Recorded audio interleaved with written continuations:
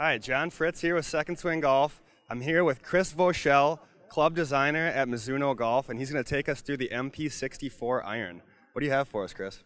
The 64 is kind of the crown jewel of the MP line. The MP line is our better players line. It's a one-piece grain flow forged golf club. It's going to feel phenomenal. This is the club that's in Luke Donald's bag. Charles Howell is off to a phenomenal start for the year. Jonathan Byrd's going to be playing these as soon as he comes back. It's a very popular golf club for our for the better player. It's designed to be a club that's not overly forgiving, but it's going to have the ultimate in feel and workability uh, shallow center of gravity so you can really work the ball, but it's also got some toe heel weighting so you get a little bit more forgiveness than the head size would indicate.